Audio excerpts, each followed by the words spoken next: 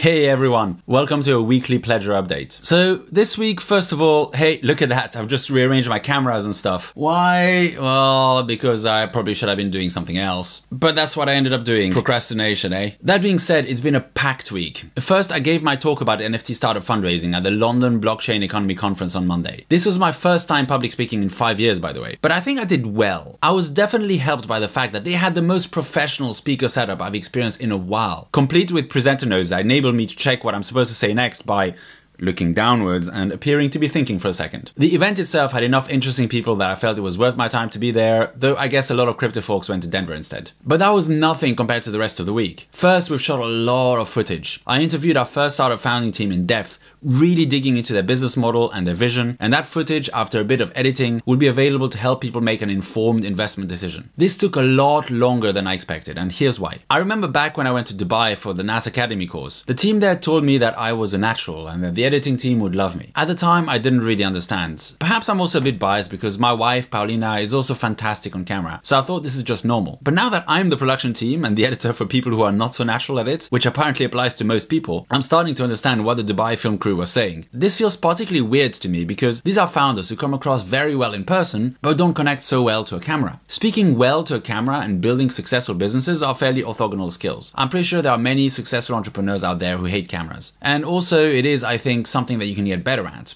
but it's definitely not a given for everyone, as I learned this week. On the dev side, the site is getting there. We pulled a couple of extra resources in to help speed things up. The target date is still in the next week and a half, but maybe sooner. We'll see. We'll be using an adapted HeyMint contract. Shout out to the Curious Addys team for building this awesome resource and sharing it with the world, with some important features like KYC added in and tested, of course. And of course, there's also the legal side where we've had multiple lawyers talking to each other on Friday, thankfully not charging by the minute while they did so, to help ensure that our corporate structure is solid and will enable us to do what we want to do. So, in short, we're very close to that proof of concept launch. This feels like a poor summary of a very packed week full of twists and turns, but I guess you'll have to make do with that because I need to get back to editing the interview footage. GM and good luck.